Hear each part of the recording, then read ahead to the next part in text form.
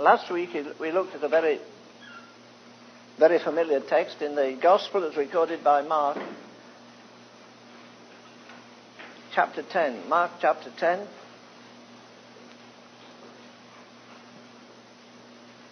Verse 17. Verse 17, Mark 10, 17. When he was gone forth in the way, there came unto him one running and kneeling and asking him, Good master, what shall I do that I may inherit eternal life?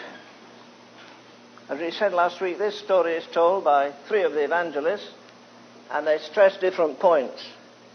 But they all say the same thing about him that he was very rich. Verse 21 here says, Then Jesus, beholding him, loved him, and said unto him, One thing thou lackest. What was the one thing? Saving faith. One thing thou lackest. Go thy way, sell whatsoever thou hast, and give it to the preacher. I wish you would, all, all do that tonight. I'll be here tomorrow while you bring your gifts. No, that's how we translate it. Sell all you have and give it to the TV preacher. Sell all thou hast and give it to the poor.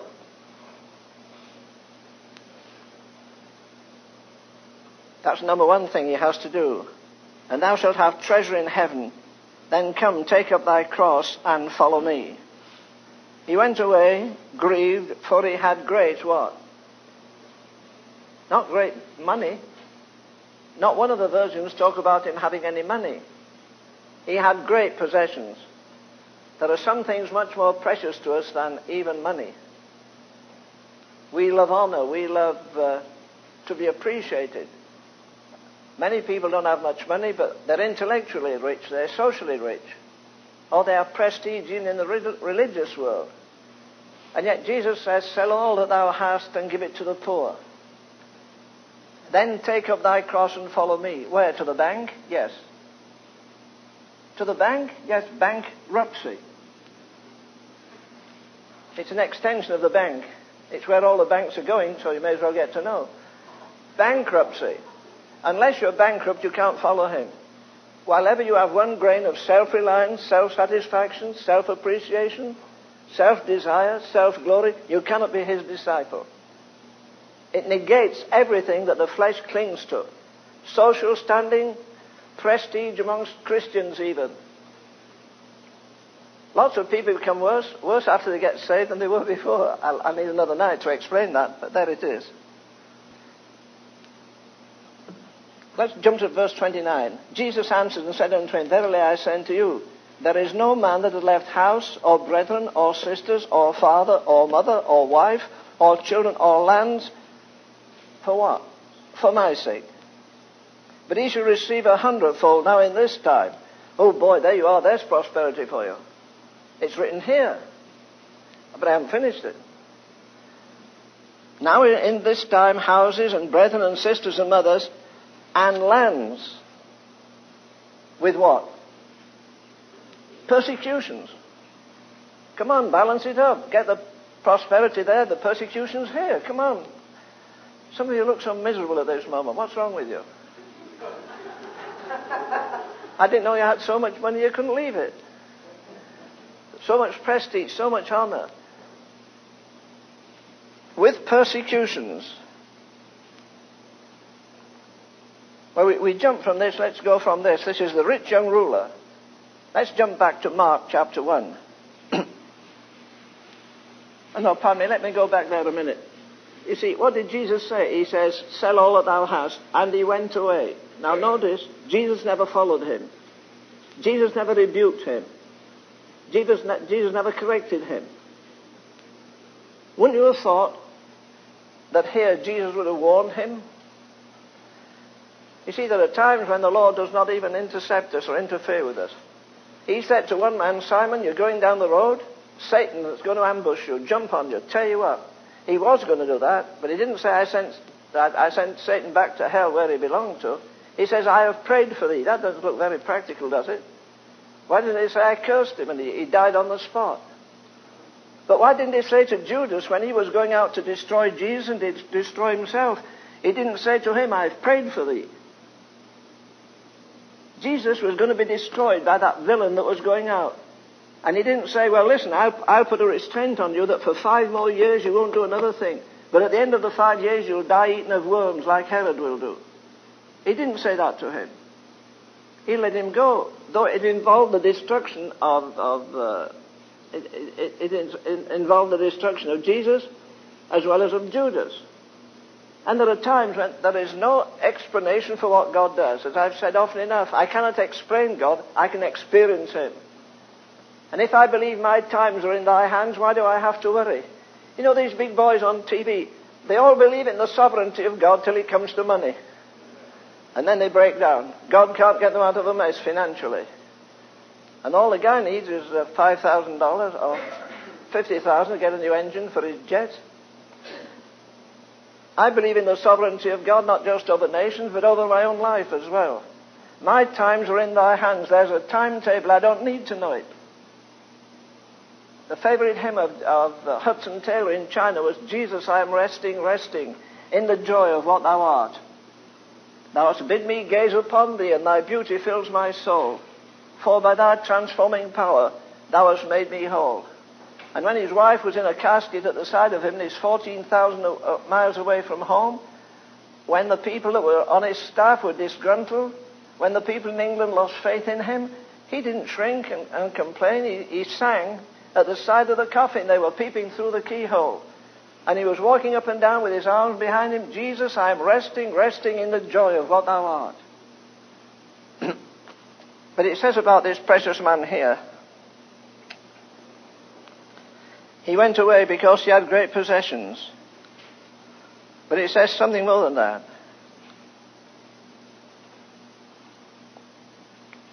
It says that Jesus, looking upon him, loved him. Why did he love him? A number of reasons, I think. Did he love him because he bowed down to him? Remember, this is reversed to their customs. In those days, and it's common in the East now, the, the poor people will fall at the feet and beg at the feet of a rich man. But here you have a rich man begging at the feet of a penniless man, a homeless man a man that has no authority, a man that's scorned in the synagogue and the, and the temple. And this man comes with courage. And publicly, if you read the beginning of the chapter, Jesus had blessed little children in a home. And then it says he went out in the way. So this is up to the public gaze.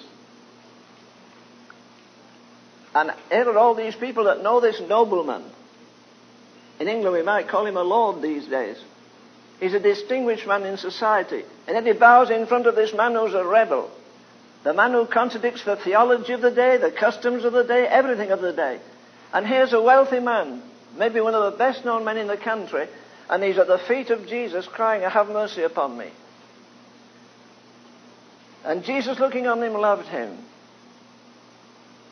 Not, be, not, be, not for his courage and not for his homage but because he was a human being who had a need, that everything outside of him was not satisfying.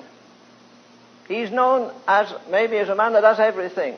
And yet he comes cringing to the feet, again, I can't overemphasize this, of this poverty stricken itinerant preacher that's the most rebellious man as far as the theologians are concerned. And yet here he is publicly declaring his desire. You see, he's driven there by need. It says, Jesus looking upon him loved him. Now go back, uh, please, to Mark chapter 1.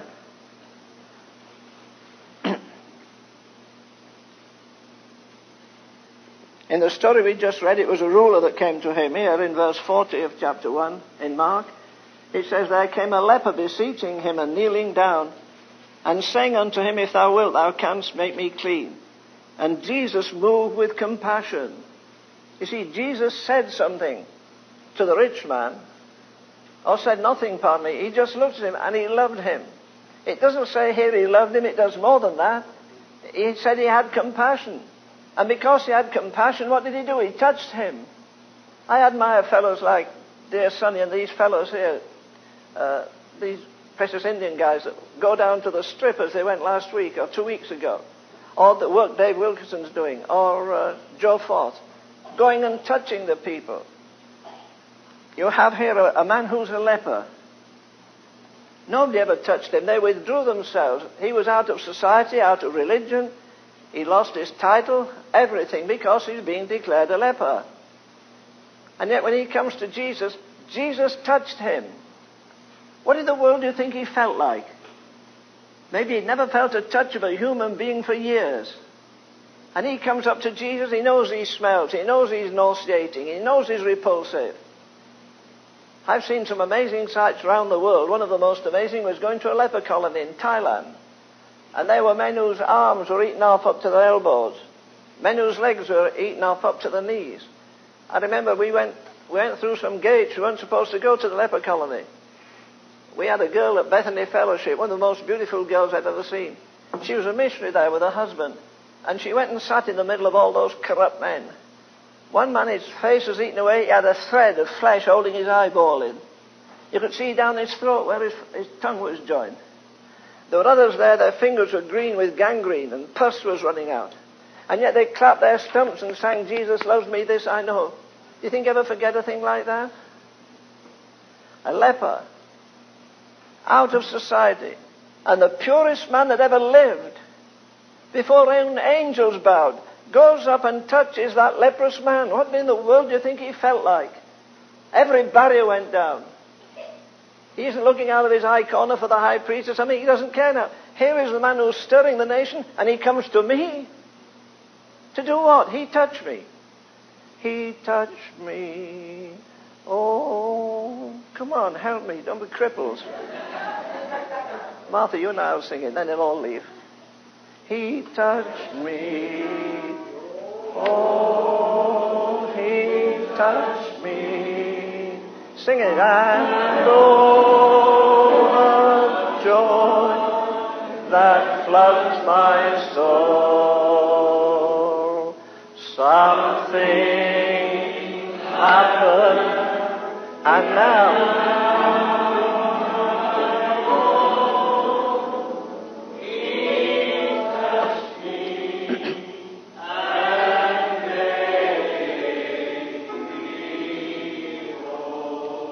you know that the piano's nearly as lame as we are. It's got notes that don't work.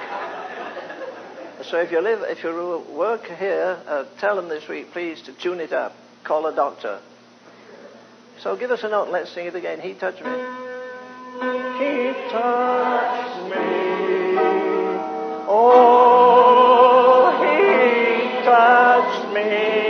And oh,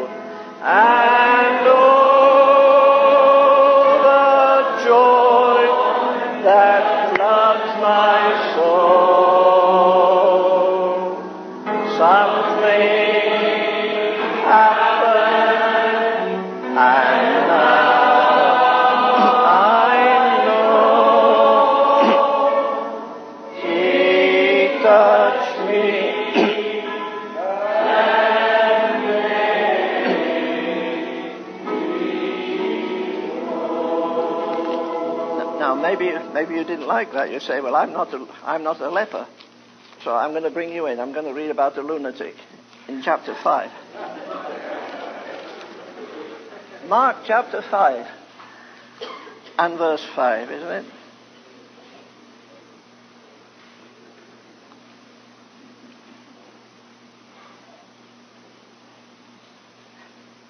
Let's start at verse 1. Mark 5 and chapter 1 there came out over on the other side into the country of the Gadarenes.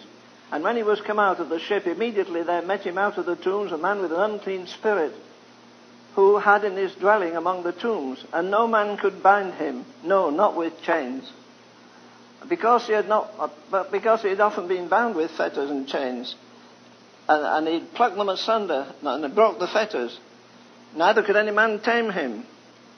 Always night and day he was in the mountains, and in the tombs, crying and cutting himself with stones. When he saw Jesus far off, he ran off and he ran and worshipped him. Isn't that amazing? A man demon possessed runs to Jesus. Dear God, he'd been to that synagogue and temple, seen the high priest, the other priests, and everybody. He'd seen the ritual for the burnt offering and everything else. Never did a thing for him. It was theory. And now he sees again this holy, wonderful man. See what it says. When he saw Jesus far off, he ran and worshipped him. Or I think some other versions say he fell down and worshipped him and cried with a loud voice, What have I to do with thee, Jesus, thou Son of God, of the Most High God? Uh, I adjure thee by God that thou torment me not. For he said unto him, Come out of him. And he asked him, What is thy name? And he answered, My name is Legion, and we are many. And he besought him so much to send him into the country, out of the country. There was nigh to the mountains a great herd of swine feeding, and all the devils besought him, all the devils in accordance. Does that say a thing to you? Hell is so bad, demons didn't want to go back to it. And yet there's no deliverance except through Jesus. You know, I was talking to some fellows. I hope they're improving. There's Sonny. He was in yesterday. I preached to two preachers yesterday. That's about the most difficult thing in the world. Preaching to two preachers. No offering for one thing. So next week when you come, bring an offering. I said, you know what's wrong with modern preaching? Three things. One thing, it has no intensity. What was it? Well, intensity. Number two, it has no majesty. And number three, it has no eternity. I don't know if you listened to the end of that court trial, what it was of uh, Oliver Green tonight. I thought it was beautiful, the summary. He was very, very moved. And, and the fellow that asked the questions was moved. And I thought, well, why in God's name? Well, they're only acting. That whole trial won't mean that much in eternity. And yet preachers stand almost like toffee bobbies in the pulpit. You know, I think one problem with the church today, we have too many preacherettes making sermonettes for Christianettes who smoke cigarettes.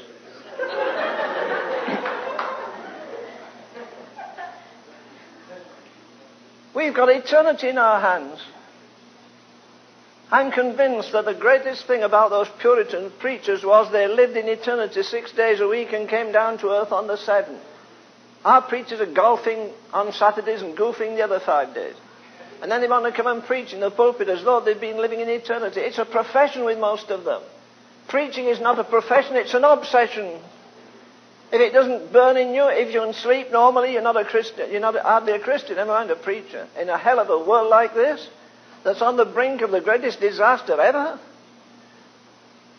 But the demons did not even want to go back to hell. I once heard, I heard Gypsy Smith many times. In fact, I had dinner with him a number of times. Because he came to the college, he didn't come to see me. And I sat next to him. He's a great man. Boy, could he talk. Do you know his chief subject? Well, uh, just ahead was, was Jesus. After that, his chief interest was Gypsy Smith. But anyhow, he was always talking about the things he'd done. And I remember he said one day, do you know what? Pigs have more sense than men. Somebody said, well, how do you know? He said, Jesus cast the devils into the pigs. They all committed suicide. They wouldn't even let the devil live in them. but that, I don't know if you have a copy of that. We'll have to look up there. If we can get it and give it to Brother Jack. Jack, do you know a book called, uh, what was the fellow that, Germany that cast out the demons? Remember that? Blumhardt. Blumhardt's Battle. Do you know that book? We need to get it. You know, if the church was really in business doing this, the psychologists wouldn't dare to sing their dumb song. Tell me, do you know a man possessed of devils, possessed of lust? He may not break up property, but he breaks up lives, contaminates girls, breaks the hearts of women. What church can you take him to where he'll sit under the anointing of God and people daren't leave the sanctuary? I'll tell you when God is present, when people daren't leave the meeting. I remember preaching three nights. I arrived a day too early in uh, New Zealand about 15 years ago. I just got in the house and somebody called and said, we hear Ravenhill's coming. Man said he'd been in my house five minutes. Ask him if he'd come to the south of the island, 400 miles away. It's Christmas, there won't be anybody around. They all go to the beaches, it's hot there, it's Christmas Day, it's burning hot usually. I said, well, I'll go. He said, you may not get 30 people. Do you know what we got there? There were nearly 300 people there. The second night the church was packed. The third night the rafters were packed. And you know, for three nights I preached my heart out and I dare not give an altar call. I sat in the back room and people sat there for two hours and more. I didn't know what to do. I was afraid of injecting flesh, so I left it. So one old man said Ravenhill didn't even know how to handle it. I didn't know how to handle it. Maybe I would now. I sure didn't then. But you see, when the hush of eternity is there, you hardly dare say a word. You want to go home on tiptoe. You don't talk about junk.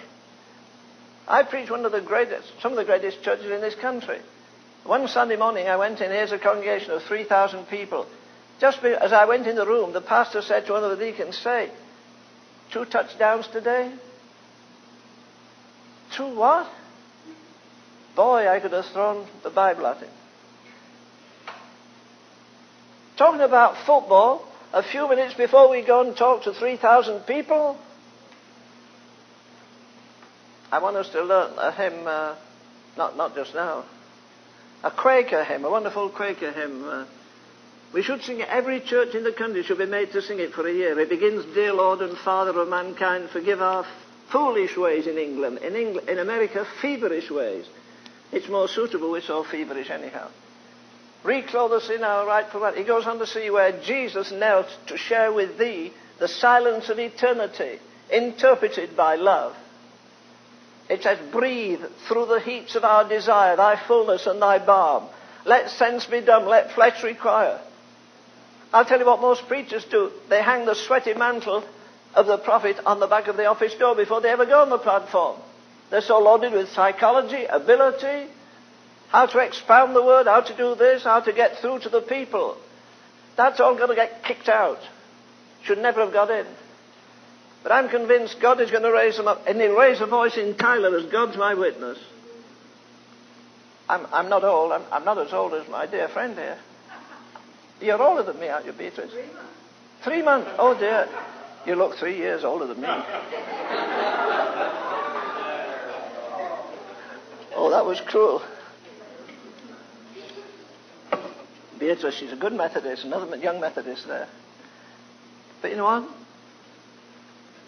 God's going to answer the situation that we're in. Not through politics, not through some devices of men. I look for these fellows to come in some Friday night and stand up, Spencer, some of them are sunny, and, and just say something and take the whole thing over. I'll be so happy. We have a little routine here, and as you know, we have a lot of decorum. We let it at home tonight, but normally we have some. We're not as starchy as this usually, but anyhow. You know, God's going to reveal himself. You know, I don't ask God to bless my preaching anymore. I don't.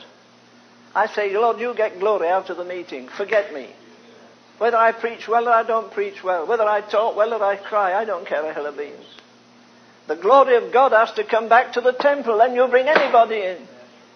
You'll bring people demon possessed with lust, with pride, with anger, with every hellish thing. But the presence of Jesus will be so real that people will shrivel up almost. I mean, shrivel on the inside. But here's a man, and he comes to Jesus.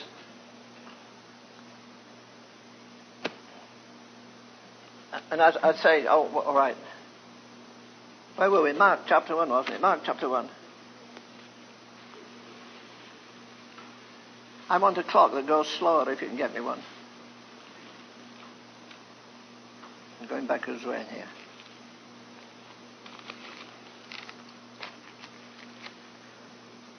Verse 41, Jesus moved with compassion.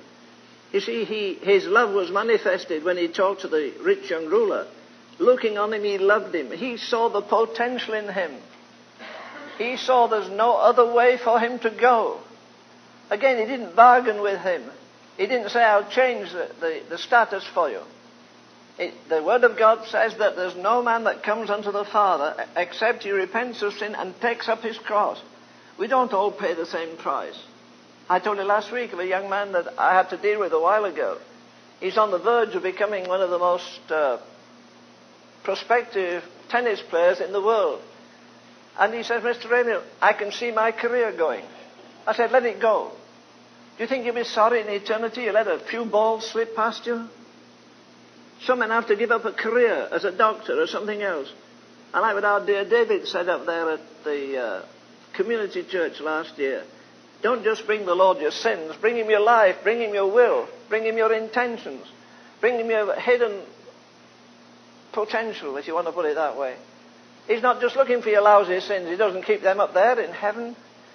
He's looking for men who are totally committed from the soles of their feet to the crown of their head. That once you yield, you say, Lord, I've no time of my own, I've no desires of my own, I've no purpose of my own, I've no pattern of my own. Here I am. Going back to Blumhardt there, we've got to get some copies of that, uh, wherever we get them. I don't know if we have them, but anyhow.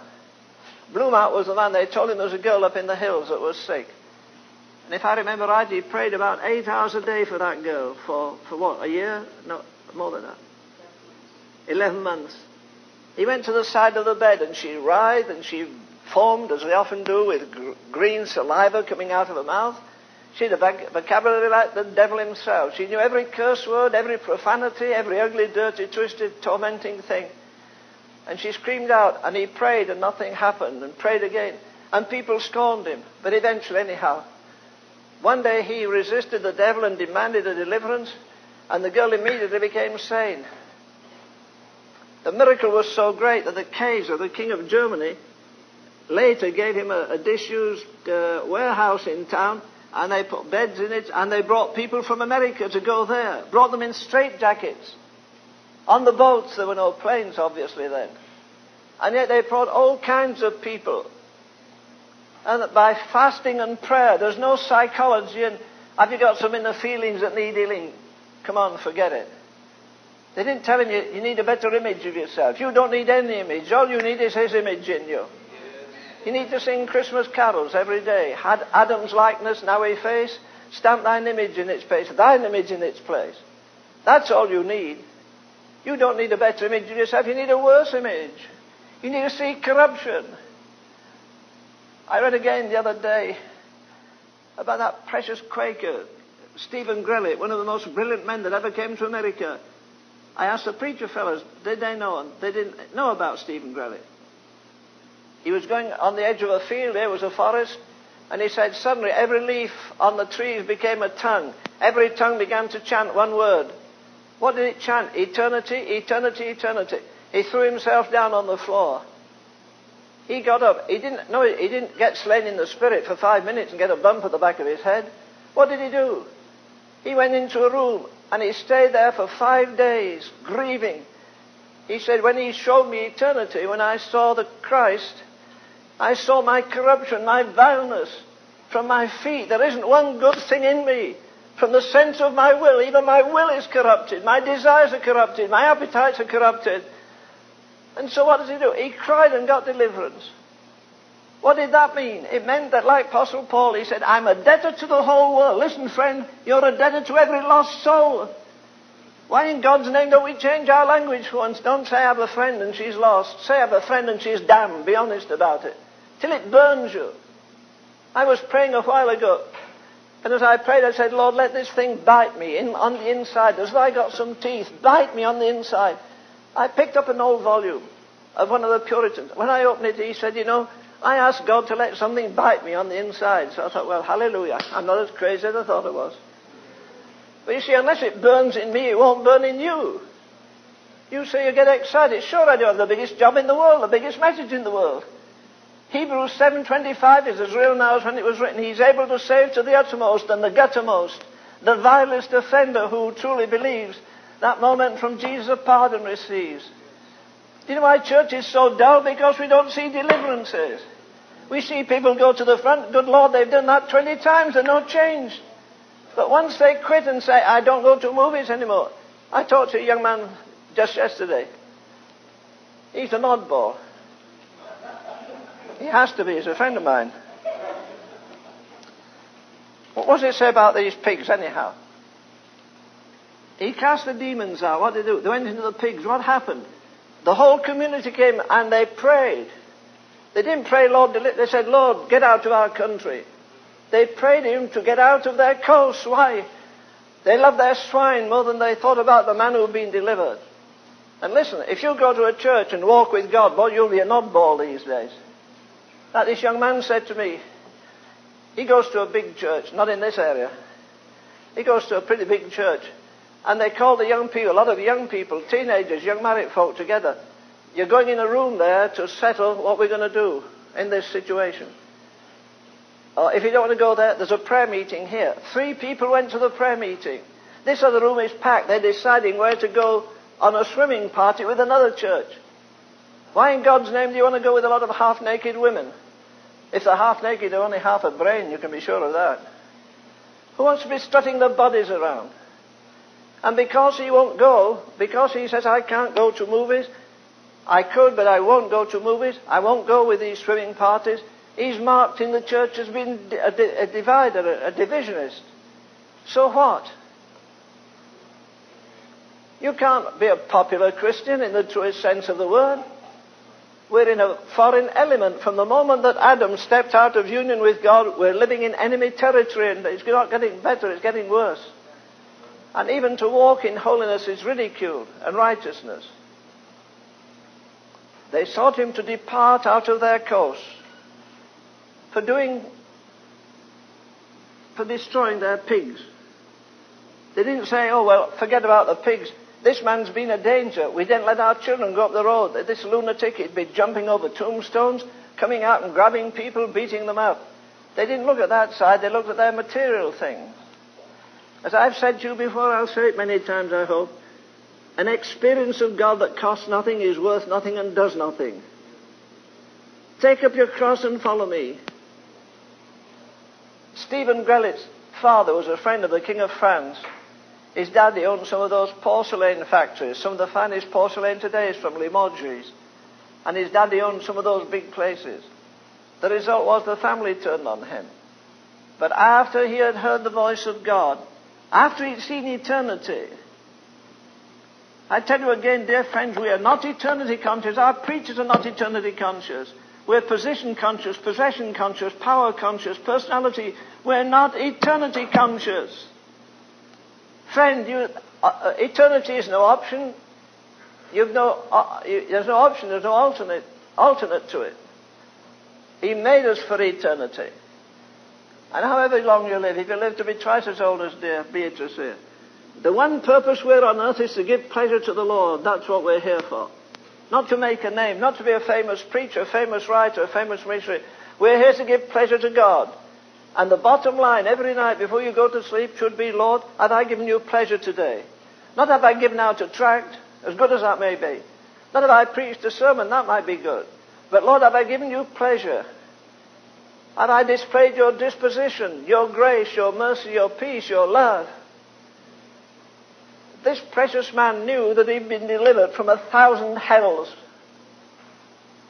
He knew the dangers of society. He got in with the rich people there. And before long, he settled down kind of with all the aristocratic people in Philadelphia. And then he had this experience of walking by the trees and every tree uh, streaming out that voice. Like a thunderclap, eternity, eternity, eternity. You know, if I had only one sermon to preach, if I could preach it broadcast over the nation, I, would preach on eternity. Duration without end. God has set eternity in the heart of man. We're made for eternity. So this precious man renounces everything he has. Do you know what he did? He learned as many languages as I have fingers and toes almost. He went to slave camps. He went into settlements where only black people were, were herded together. He went to orphanages. He went to every crowned head in Europe. He climbed over the Alps. Didn't ride horseback it. He climbed over the Alps. He went to the King of Russia, the Tsar of Russia. He went to the King of France, the King of Belgium. There's a king in Italy. He went there. He even went to the Pope and witnessed to him. And as a Quaker, he wouldn't remove his hat. They said, when you step into the presence of the Pope, you must remove your hat. He said, oh, no, no. Yes, he said, no. Well, come in this way. They opened the door and put him through, and then a man grabbed his hat, took it off. So he had to stand before the Pope without a hat, but not without a message. He told the Pope he needed to be saved. Isn't that wonderful? Oh, I'd go to Rome tomorrow if I could tell the Pope that.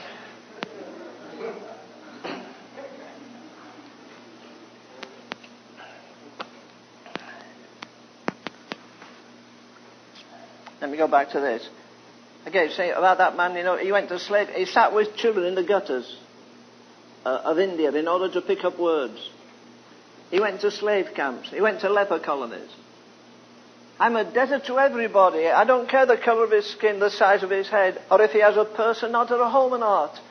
He's without God. It's easy to say that, isn't it? That neighbour of yours is without God. But listen, something else is worse. He's without hope, both in this life and the life which is to come. The reason so many rich people go apart, they've got everything that's visible and they haven't got the invisible. And that's true of poor people too, of course. but this man just spent his life. And do you know what? Twice. Once he was preaching in, in Paris, and he got the crowd in, intoxicated because he said there's no value in the Mass that Jesus alone can save you. They hung him up on a lamppost, and he was just about gasping his last, and somebody cut him down. So the next night he preached again, and instead of putting on the lamppost, that was getting old fashioned, they threw him in the river Seine, tossed him right into the depth of the water. He got out. Twice he stood before men with a cutlass, all mad with drink, going to chop his head off. And he didn't run and scream. He stood there. In season, out of season. He was in death's off, like the Apostle Paul said. You know, if you can talk somebody into salvation, somebody else will talk them out. It's a miracle of God. Do you wonder that Wesley said, Thy nature, gracious Lord, imparts, come quickly from above. Write thy new name upon my heart, thy new best name of love. He won't done that until he's created a clean heart.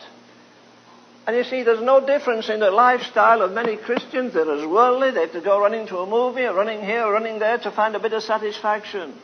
But not when Christ comes. When Christ is my all in all, as I've said to you, I picked it up last year, I don't know where from. You can't say Christ is all I need until Christ is all you have. You've got to lose everything. Every interest, maybe break up good friendships, maybe back off. And the Lord says, go hide yourself. I tell every young man that comes to see me, hide yourself. Get Gurnall's, uh, what's Gurnall's called now? Oh, Here's my student prompting me. Spencer, good old Spencer, thank you. The Christian in Complete Armour. Don't get the abridged edition. You can get it for about 15. It's 27. You can get it for about, what, $15, Jack? Or 16 Fun? For 17, it actually is 30 retail. So there you are, you save that money, you can put that in the offering. The Christian in Complete Armour, 1130 pages. And balance it with that wonderful book written in 1591 by Isaac Ambrose. Uh, looking unto Jesus. That's the whole secret of the Christian life. Looking unto Jesus. If you look around you, you'll be disgusted. If you look inward, you'll be disappointed. If you look upward, you'll be delighted. Don't keep looking around at folk in the church. They're worm eaten anyhow. The very few people have a passionate passion for God. Why don't we face up to it? It was a woman that, again, 90, weighed about 95 pounds. A little Irish lady took a one-way ticket to uh, India. Amy Wilson Carmichael. She, she was the one who cried, give me a passionate passion for souls. Give me a pity that yearns. Give me a love that loves unto death. Give me a fire that burns. Give me a prayer power that prevails to pour itself out for the lost. Victorious prayer in the conqueror's name. Offer at Pentecost. Give me a love, listen, a love that leads the way, a faith which nothing can dismay. She got criticized and ridiculed and money began to dry up. She didn't send out a begging letter, she prayed. This little woman weighs 95 pounds. For all her life, she had a curvature of the spine. The last three years, they lifted it in and out of bed. And it's that little crippled woman that says, Give me a love that leads the way, a faith which nothing can dismay, a hope no disappointments tire, a passion that will burn like fire. Let me, this little shriveled woman, let me not sink to be a clod. Make me thy fuel flame of God. She's still alive. Our dear Paul in South America has every book I think she's written and, and very much fashioned his lifestyle in once. Pardon? She, she's dead now. I know, but he has the book. In fact, the, a man that used to be the milkman, bring milk to our house the old-fashioned way, He brought it from the cows to the. I guess you know it comes from cows, but anyhow, he, he brought it in a big uh, can to the door, and you, you, you took your jug, and he poured milk in. Do you know? He sent me a letter two weeks ago. It's, that was 19, what, 42 about when he came to our house. We kept lending him books. He became a preacher. He's been a, a, a powerful preacher. He showed me a picture of a church that they bought. And the joy is they've about eight or ten people out of that church gone to the mission field. But he said, you know, one of the joys of my life, I've kept up a correspondence with Amy Wilson Carmichael through her secretary until she died at the age of, what, 85, I think, or 83. And for years he's, kept up a correspondence with her, that wonderful woman. And there she shed, spread a vision through that young man. As long as he's alive, she'll be alive. You, you can never tell your influence upon another person. It's impossible to measure it. Anyhow, let's go back, and I've got to wind up. I'm sure it's time. Jesus, moved with compassion, put forth his hand and touched him and said, I will be thou clean. As soon as he had spoken, immediately the leprosy departed from him. And straightly he charged him, verse 43, and forthwith sent him away and said unto him, See that thou say nothing to any man. Isn't that a task? I don't think the Lord would ever say that to a woman, but anyhow. he said, See that thou tell no man anything. Go thy way and show thyself to the priest. Oh boy. Boy, there's a stumbling block. What? Oh, Jesus, can't you change that? I mean, couldn't you say, I met somebody in the, in, in, in the road and he spoke to me? You go tell him who? Jesus Christ. That priest hates Jesus Christ. Go tell him. Let him see what it means. When Jesus speaks the word and his flesh is as white as a child's. What did he do? He went and began to publish it much abroad and blaze it. Boy, those are lovely words, aren't they? Published it and blazed it. He put his candle under a, uh, under a coffee pot or something. He let it shine. He began to publish it much abroad and blaze abroad the matter, insomuch that Jesus could no more openly enter the city, but was out in the desert and the other places, and they came to him from every quarter. You see that? The people in the city hated him. I can imagine the priest saying, Let Jesus come in this town again and we'll show you what we'll do with him. And Jesus doesn't do that. He goes the other way. And so the whole city go after him. As I've said before, you never have to advertise a, fire. You never have to advertise a revival. When the Holy Ghost is brooding, nights turn into day. The lights don't go out. People don't get weary in the flesh, they get renewed. The Welsh revival went on month after month after month. In this country, I stood outside of that great church in uh, Rochester, New York. There's a tablet about this size. It says, In this church, Charles, Charles G. Finney was here, gives the date, for six months, and one oh, oh, oh, oh, oh. 100,000 people were born again. Tell me a man in the country that can do that today with all his TV show. A man that will go and stay in town until the very heavens break, until the walls of hell break down, until people turn over in their sleep wondering why, and there's no doctor can diagnose it. It's that amazing thing we call conviction of sin that we know so little about. They're not just getting saved because they're going to hell. They're going to save, get saved because they're conscious. Am I, going to, am I going to get worse and worse and worse than I am now? There has to come a stop to it. And thank God that wonderful hymn we sang tonight is true. Written, remember, by Cowper. There is a fountain filled with blood. The same man that wrote that other one, uh, hymn, God moves in mysterious ways, his wonders to perform. Side two. And round till finally the coachman, the Cowper said to the coachman, would you stop and see where we are? The coachman got off and went up the steps, knocked at the door, came back. Cowper said, well, where are we? He said, we're at your door.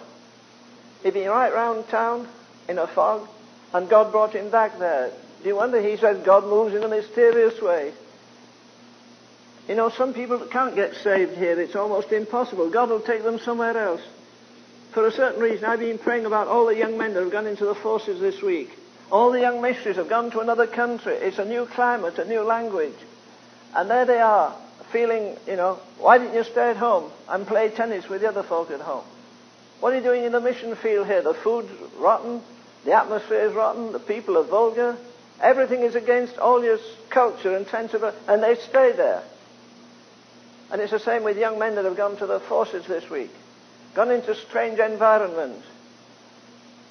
But you know, I don't want one man here to die on the battlefield. If you die, die in the mission field. We need to pray more than ever for the young people today. There's a thousand seductions today that weren't here ten years ago. And as you stay in prayer and cover your family with the blood every morning when you get up, like Job did for his children, lest they should transgress. But we have a faithful, covenant-keeping God. I'll say one more thing. In 1950, I met Dr. Tozer for the first time. And as we prayed during the week, he said to me one day, you know, Len, Brother Leonard, Leonard, as he said, I want to tell you something. I think he said we had 30 young men from this church went into World War II. 30 of them. And we covenanted together. I think the church fasted and prayed every Wednesday. And only one of them was injured, and that was his own son. But not one of the 30 was killed. Every one of those young men, maybe there's no other church in the country has that record. They banded together. The devil isn't going to have these boys. They're going to come home. You know, we pray for such decimal things. And very often little selfish things. Once inside eternity, brothers and sisters, we're going to be very embarrassed at the smallness of our faith and expectation. When God has said all these things, all things pertaining to godliness, America won't survive another decade if we don't have a Holy Ghost revival. I don't care who becomes a leader. Two men came in my home uh, Wednesday, I think it was. No, Tuesday. And the first that was there said, you know, I've been reading Jeremiah. The second one came in in the afternoon. He said, I've been reading Jeremiah. I think a brother came in yesterday. Said he'd been reading Jeremiah. You know, I say to them, forget him. Forget Jeremiah. Why? Well, tell me this. We're not living in Jeremiah's day. Did Jeremiah have a church at, at every street corner in Jerusalem? Did Jeremiah have thousands of Bibles? America has uh, three, uh, two, six, 600 million Bibles in America. Church at every street corner, broadcast. Religious tracts by the thousand, religious books, religious broadcasts, conferences, seminaries or semi- seminars and all the rest of it. All this heaped upon us to whom much is given, much is expected. And it's time for us to wake up. I love to see these precious Indian guys. They rebuke me every time they come. Their zeal for God, their love for the two and a quarter million American Indians who own the country, the most intoxicated people in the country. They drink more liquor. They, their young men die by suicide four times for every one that dies a white man. And this is a reproach on the conscience of America, it should be. Other people living in poverty and reproach. You see, we have, what, what are you clinging on to tonight? Huh? Why do we sell all?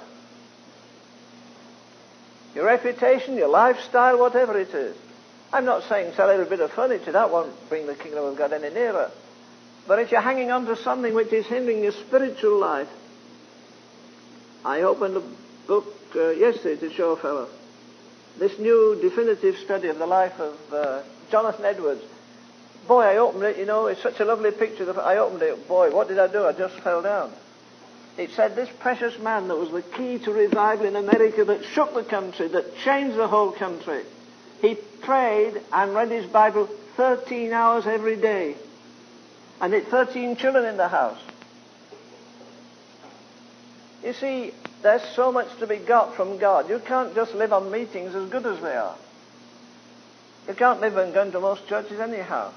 We're to live on Christ, on Him, on His Word. And more and more I want Him. I there's nothing I want more. Nothing on earth do I desire. Let me quote this now. I'm fruitful. Wesley, a woman that wrote a hundred years before Wesley, Come Jesus, come Savior Jesus from above. Assist me with thy heavenly grace. Empty my heart of earthly love. That's where it begins. And for thyself prepare a place. Nothing heroic in that. Listen to this. Nothing on earth do I desire but thy pure love within my breast. This only this will I require, and freely give up all the rest, wealth, honor, pleasure, and what else this short enduring. I don't know what she gave up. I know what Wesley gave up. If he'd stayed in the Church of England, he would have been the most distinguished uh, uh, Archbishop of Canterbury England ever had. He gave it all. He died almost penniless.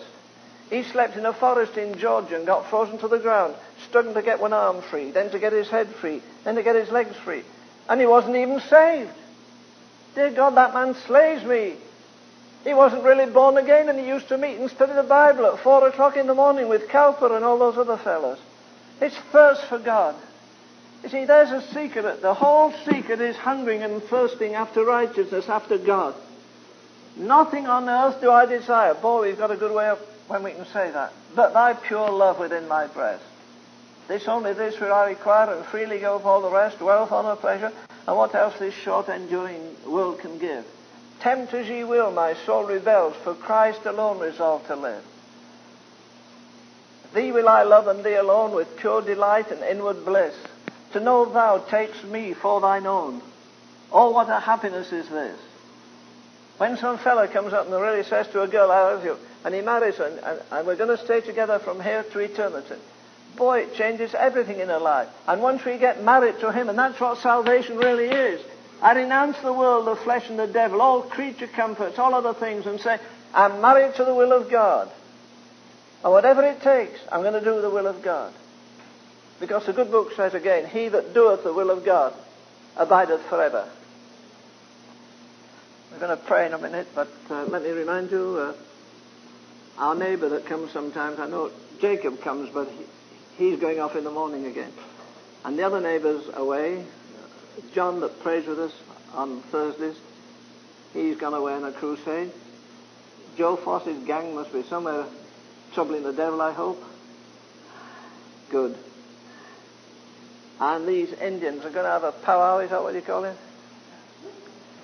In when? August. Next month. What day? Third week in August. How many thousands are going to come? Four to eight thousand. It's a, a program of debauchery from morning till night.